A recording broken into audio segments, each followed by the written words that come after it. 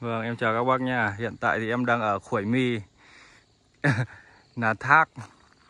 Hôm nay thì uh, thời tiết trên này rất là mát, mặc dù là đang tháng 5 mùa hè rất là nóng, nắng mới. Nhưng mà thời tiết trên này thì tuyệt vời luôn. Bọn em vừa đi uh, khảo sát, thăm lại uh, đường đi bộ. Để sắp tới sẽ đưa khách du lịch đi lại đây trải nghiệm đi trong rừng già đây các bác thấy bên này là rừng già này.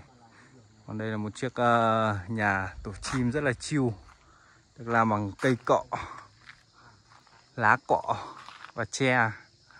Đấy, các bác thấy quả nhà này đẹp không? Em chỉ mơ ước về già là có một cái ờ, ngôi nhà như thế này. Nhỏ nhỏ không cần nhiều các bác ạ. Bên cạnh này là rừng già nó rất là mát đằng trước thì view siêu đẹp luôn. Ơi các bác. Ôi. Nước về tận nơi luôn. Ở đây có nước. Cực kỳ đẹp. Thế này là nhà tắm, nhà vệ sinh. Rất là mini, thân thiện với môi trường. Tất cả mọi thứ đều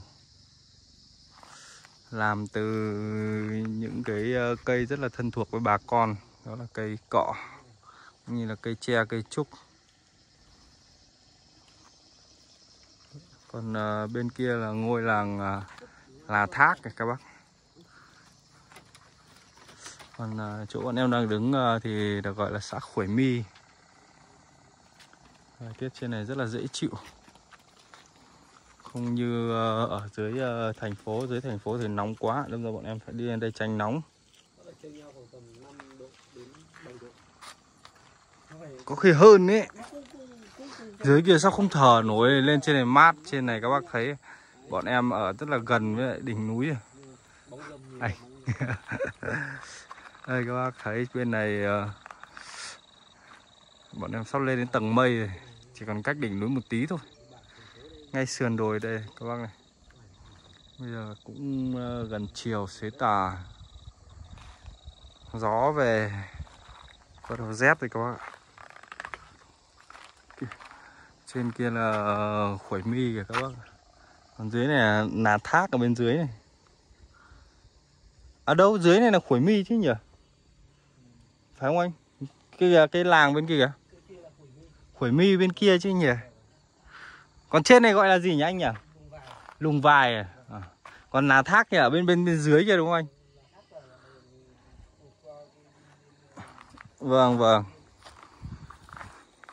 đẹp quá không nhầm còn bên dưới thì các bác đấy dưới đấy là Hà Giang. Từ dưới Hà Giang đây khoảng 15 km thời tiết thì rất là đẹp. Nếu mà các bác mà lên ờ, Hà Giang vào mùa lúa chín ấy, tầm tháng ờ, 8 tháng 9 đi thì trên này tất cả toàn bộ ruộng bậc thang ở khu này. Thì tuyệt vời luôn các bác ạ. Nhìn ờ, một cái khung cảnh vàng rực ở trên núi rừng già. Đấy, các bác thấy bên kia có mấy ngôi nhà tổ chim này. Em zoom lại gần lại một chút, các bác xem. Đấy, Đây, ngôi nhà tổ chim. Rất là nhiều. Thực ra đây là những cái ờ, lán Và Để cho bà con thu hoạch ngô lúa. Đây, bên dưới này cũng có một căn. Đấy đấy các bác này.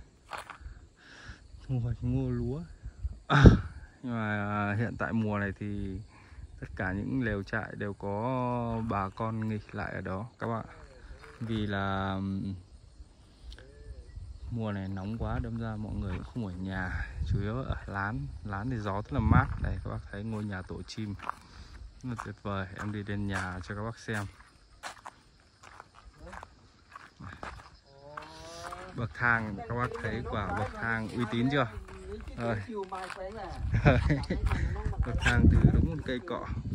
Cắt ra.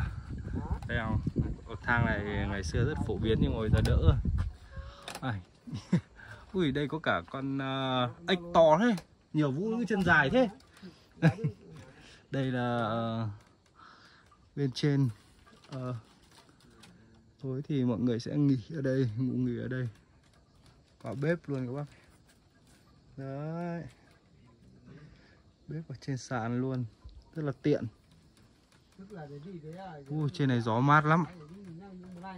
Tuyệt vời luôn chăn chiếu đầy đủ hết con nha không thiếu gì cả. Căn nhà này thì chắc là khoảng tầm à đây em đi sang bên này. Nó ngắm cảnh bên này. Đây. Ôi, bên này ngắm cảnh là tuyệt vời luôn. View này là view triệu đô ở dưới cái bà con đang đốt nương chuẩn bị đổ nước chuẩn bị trồng ngô tiếp. Một cột khói lên. Đây. Căn nhà này. Căn nhà này khoảng bao nhiêu mét nhỉ anh nhỉ? Chắc cũng khoảng tầm ờ, ấy đấy. Khoảng tầm 20 mét đấy. Bây giờ em sẽ đi xuống. Uầy, quả bậc thang này. Đứng quá. Bậc thang ấy đứng. Làm phát để chụp ảnh. Đằng trước thì còn có cả uh, chuông gió các bác này. Đấy, chuông gió siêu to khổng lồ.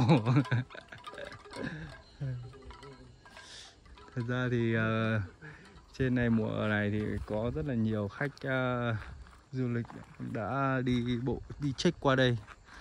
Nên là à, anh chủ nhà anh mới làm một cái căn này để đây bán nước rồi là làm cơm trưa cho khách du lịch các bạn rất là đẹp. Ví dụ một đoàn khoảng 10 khách lên đây thì cũng được. Có thể đặt ăn trước, sau đó thì mọi người có thể lên sàn ngồi đấy, các bác thấy ngồi trên sàn rất là chiều phong cảnh thì rất là đẹp luôn. Khu uh, bên kia cũng có. Lần trước em có xuống uh, mấy uh, túp ở dưới kia nhưng mà view cũng không đẹp bằng túp này. Túp này thì mới làm cách đây được khoảng một tháng. Đấy. Bác thấy uh, bạn kia rất là thích thú chụp ảnh các kiểu.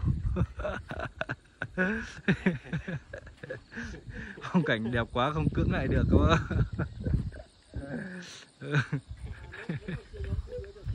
không phải xấu hổ đâu cứ ờ, ấy đi.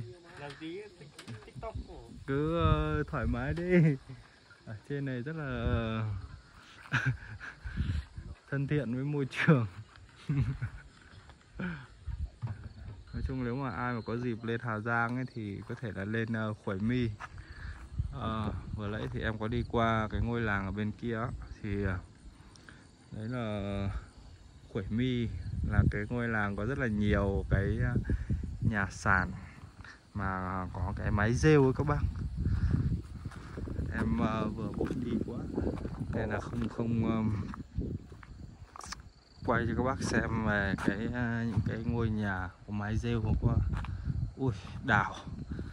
Trên này rất là nhiều quả các bác. Đây.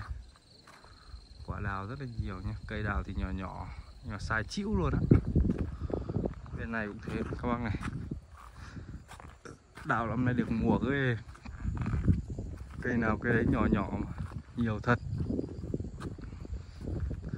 Thật sự là sau này mà về già mà em có điều kiện thì em cũng sẽ lên đây ở các bác là một ngôi nhà tổ chim nhỏ nhỏ.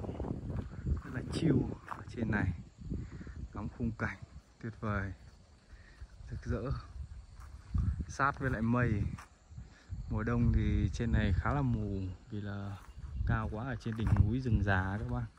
đây, rừng trên này rừng già. Đâm ra là cũng hơi lạnh nhờ mùa hè lên đây thì đúng là tuyệt vời.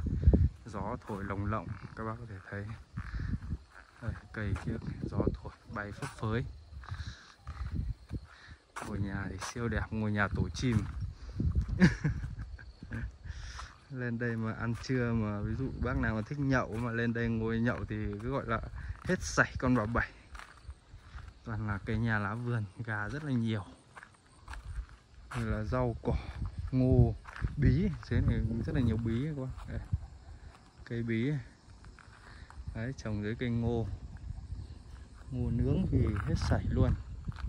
Bên này cũng thế, rau, bí, cỏ các kiểu. Rồi các bác đây. Bên này, Rau lang này. Rau bí này, Rau bao này. Đây, rau này là rau bao này các bác.